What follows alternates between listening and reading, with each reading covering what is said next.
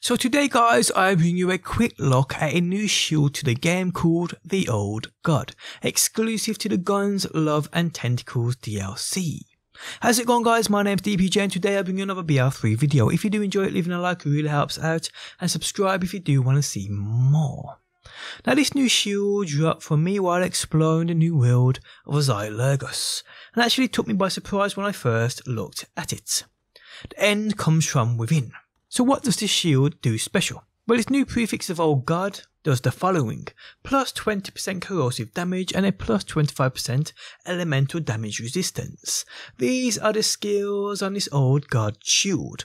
Now, the elemental damage bonus here I can state isn't limited to corrosive only.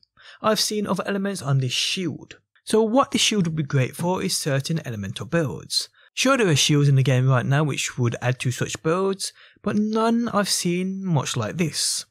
I uploaded a grenade build for Zane last week. This would have been a great addition on said grenade build. Let's say you have a set of these old god shields, depending on the grenade and element on it you would be using. This would pair great with that for that extra damage. But in turn guys, this would be beneficial to any weapon with said elemental damage. Mine being a corrosive variant on the shield, pairing this with a flesh matter artifact, that would be pretty amazing in stacking that corrosive damage.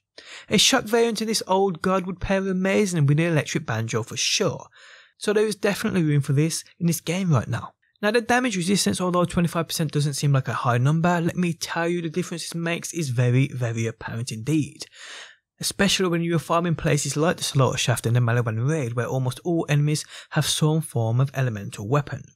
Things like this truly do help out.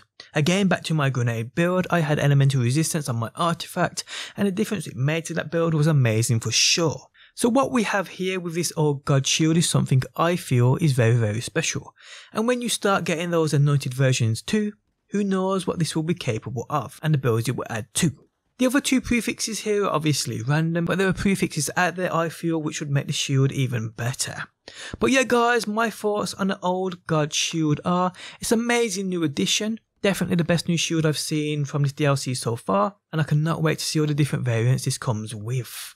But on that note guys, we have come to the end of the video. If you guys enjoyed it, leaving a like really helps out. If you're new around here and want to see more Borderlands, be sure to subscribe. And if you never want to miss a video I upload, you can turn notifications on by hitting that bell button. But guys, thanks as always for stopping by. Hopefully you enjoyed the video and hopefully I will see you on that next one.